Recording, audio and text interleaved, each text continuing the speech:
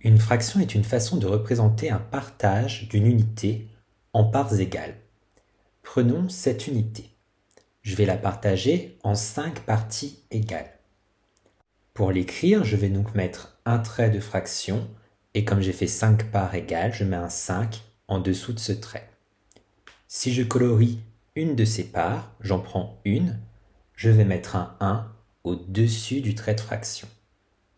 Prenons une autre unité, elle aussi séparée en 5 parts égales. J'ai 5 parts égales dans mon unité, je mets donc un 5 sous mon trait de fraction. Mais cette fois-ci, je vais en colorier 3. Je vais donc mettre un 3 au-dessus de mon trait de fraction. Le nombre en dessous du trait de fraction s'appelle le dénominateur. C'est le nombre de parts que l'on fait dans une unité. Le nombre au-dessus du trait de fraction s'appelle le numérateur. C'est le nombre de parts que l'on va prendre ou colorier. Pour lire une fraction, on commence par lire le numérateur, puis le dénominateur. Les premières fractions sont à connaître par cœur. Si je prends une part d'une unité partagée en deux parts égales, j'ai un demi. Quand je prends une part d'une unité partagée en trois parts égales, j'obtiens un tiers.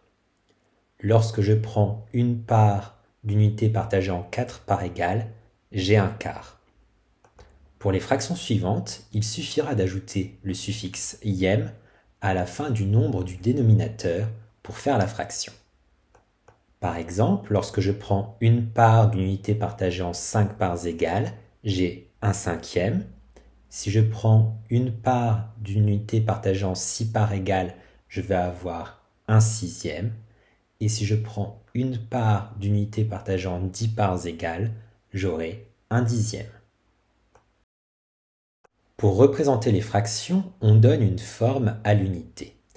On peut utiliser n'importe quelle forme du moment que les parts sont égales. Les représentations les plus utilisées sont la barre séparée en parts égales, le disque séparé lui aussi en parts égales, que l'on peut aussi appeler pizza, la droite graduée ou le quadrillage. Mais on peut aussi retrouver d'autres formes comme un losange partagé en parts égales ou un triangle partagé lui aussi en parts égales. Des fractions pourtant différentes peuvent être égales. On parle alors de fractions équivalentes. Prenons par exemple la fraction 1 demi.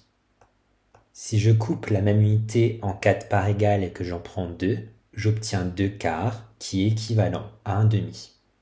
Si je découpe maintenant cette même unité en 8 parts égales et que j'en prends 4, j'obtiens 4 huitièmes qui est une fraction équivalente aux deux précédentes. Enfin, si je découpe la même unité en 10 parts égales et que j'en prends 5, j'obtiens 5 dixièmes, qui est une fraction équivalente à toutes celles précédentes.